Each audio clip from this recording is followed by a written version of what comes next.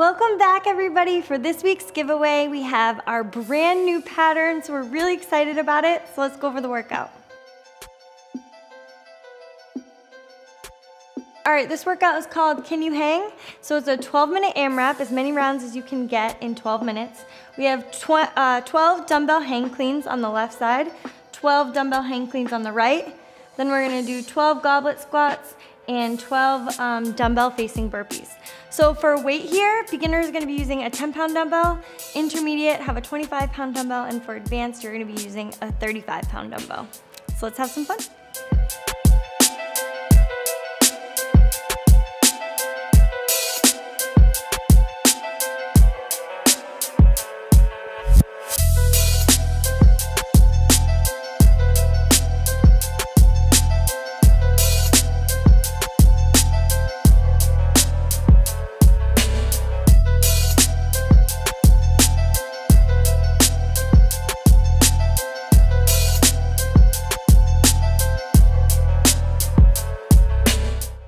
All right guys, the only piece of equipment you'll need for this workout is a dumbbell, so have some fun and I'll see you next week.